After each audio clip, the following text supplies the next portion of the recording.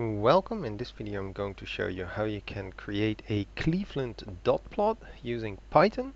I'm using Python 3, uh, I think it's 3.97 uh, via Anaconda and JupyterLab.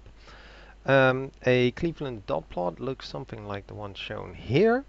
Uh, I can perhaps even zoom in a little bit, um, where a dot is placed at the highest frequency uh, of each category. So uh, this one would indicate that about two or exactly two people had uh, one drink and four people had two drinks, etc.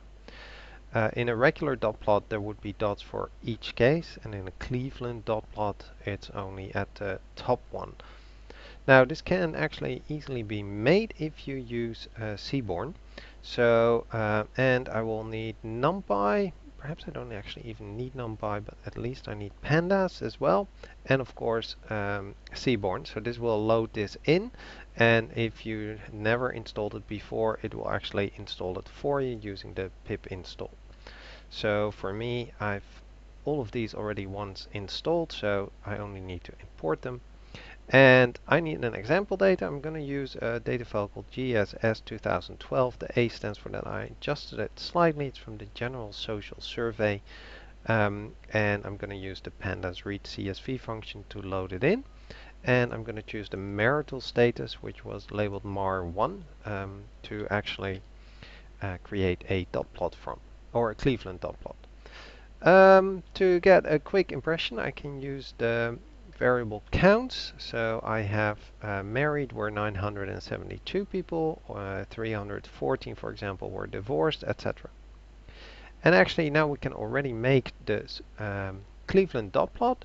Uh, it's a variation on a strip plot as uh, Seaborn calls this. So I'm going to use my Seaborn strip plot function. My axis will be from that frequency table the keys, so basically the married up till separated and my y values will be the frequencies of that table, so the 972 to the 79. I don't want to have any jitter and I'm going to increase the size of a dot to 10. Um, you can of course change this to your own likings. And here we have the dot plot. Actually it projects the 972 dots on top of each other, but that's fine. In the end the result looks exactly like a Cleveland dot plot. And that's how you can make fairly easy a Cleveland dot plot using Python.